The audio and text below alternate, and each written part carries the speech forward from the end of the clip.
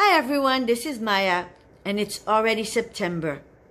This is the time that we need to be starting to think about changing up our skincare routine to match the weather. In the past few months, I've been observing a lot on the internet, and I think that there's a lot more people who are going around with dehydrated skin than they care to know or think. Dehydrated skin can be due to various factors the environment, how we eat, and of course, the types of products that we choose to use on our skin. If they are too harsh, they are definitely going to do damage to that protective barrier that we all very much need. And remember that all skin types can be dehydrated. So whether you have oily skin, it can be dehydrated. Sometimes you think you can have an acne breakout and that you have a lot of comedons here, that's due to dehydration and there's no water to flush all of that excess sebum. Your skin can even start to produce more sebum because it's trying to protect itself from dehydration. Dry skin can also be dehydrated. That will be typically felt by when your skin starts to tug at you a lot more than usual. Even mixed skin can start to develop acne and different types of uh, blackheads that can come up due to the fact that the skin is dehydrated. So I really concentrated and thought about all of these things. And we, this is why I'm so happy to present to you our line of serums that we recently introduced, all designed to bring your skin suppleness, radiance, and elasticity. The first one is the Morganna Lemon Drops. And so it's got, it's made with lemon peel and also with a cross-polymer hyaluronic acid.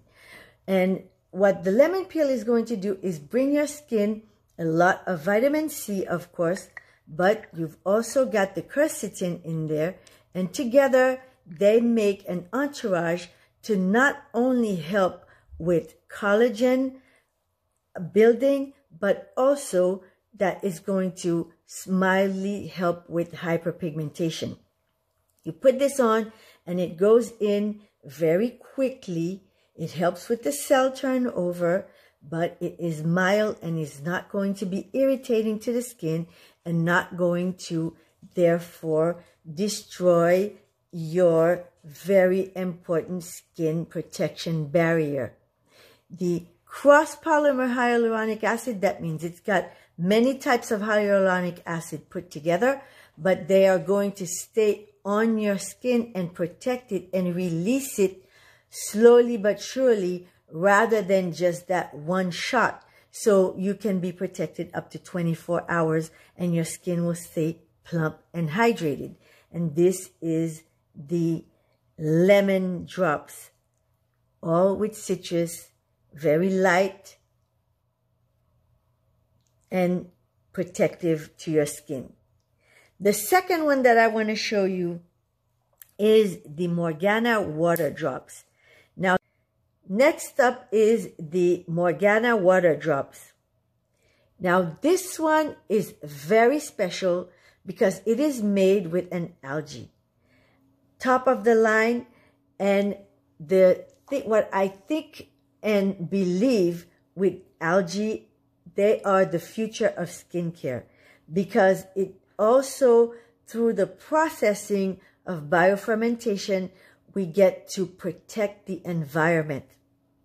But this algae is wonderful because it comes from, uh, it is harvested around Japan and a lot of people eat it there and in that particular village where it's consumed, it is called the longevity because people live a lot longer thanks to this algae. And what does it do? It provides a lot of moisture. It is hygroscopic. And what does that mean to you and I? That means that it absorbs moisture, but it keeps it there. Anything that is hygroscopic just keeps the moisture in. It binds to it. So that means it's going to keep your skin protected for the whole 24 hours. You only need to apply once, but if you want to reapply, you can. And it is again what's going to keep your skin's barrier intact and protected because we all need that line of defense. So that's the Morganna water drops. Next up is a subject that we've all, we all, all have been hearing about, and that is HEV light, high energy visible light, which is blue light. It's also known as blue light. And what blue light does is that it comes from our tablets, from our phones, from our TVs, and even from the outside. They're always talking to us about UVB and UVA, which are very far from us. However, they never tell us about the high energy visible light, which is the blue light, which causes 50% of the damage on its own. This is for hyperpigmentation. It's got P peptides, which is a natural peptide. Remember, I've told you that peptides are like the building blocks of what helps collagen to renew itself. Collagen, elastin. So it's got melanin and the P peptides that are going to go in. This particular peptide is going to go in and it's going to turn off certain cells that provoke the hyperpigmentation, but in a safe manner that's non-irritating, no inflammation, and it's just going to be there to help slowly but surely bring away that hyperpigmentation.